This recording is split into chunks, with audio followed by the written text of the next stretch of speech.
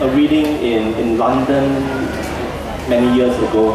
Uh, there was this woman who, who was kind of over enthusiastic, who sort of came up to me and um, wanted to trade books. Um, and if you're a writer and, and when you're caught in that situation, it's like, do I want, want to trade my book, which I can sell for, let's say, 10 pounds, um, with a book that I might not want? Uh, but out of politeness, I think I decided to trade um, my books with, with this, this, this woman.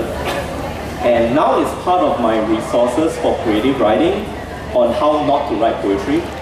So uh, it's, it's not a total loss, I think. A feeling in the belly.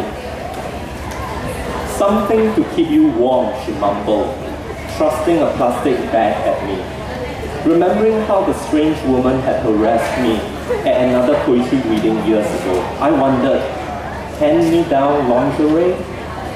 The actual gift, three beef pies from Tesco. Still suspicious, I stashed them in my hostel's fridge for other unsuspecting tenants. But hunger stricken the next day, I heated the pies. Two minutes in the microwave as instructed, before letting them stand for two more. I suffered no ill effect devouring them. As for my widening guilt, all I could do was to let it stand.